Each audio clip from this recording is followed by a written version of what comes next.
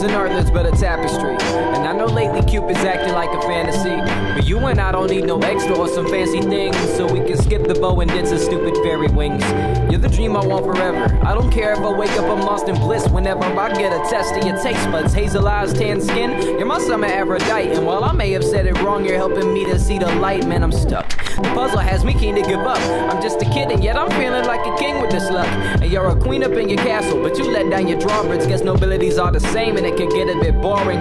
You're the Duchess to my Thomas. I'm the Robin to your Marion. A sort of certain love that only comes alive in fairyland. Assortment of the storybooks that make you learn to care again. Only question left to ask is where or where could you have been? And I admit that I might be a bit hopeless. Lo and behold, that I wrote this, a chosen moment of innocence. And innocence, I'm broken, but you're holding me together. You're woven from the fleece golden, but light as a feather. You're the treasure I was searching for, but couldn't imagine. Favoring myth or legend until they find out it's magic. We could build a house in the sky and brew your love potions by sea. And in the foam of your embrace, you'd be my summer Aphrodite.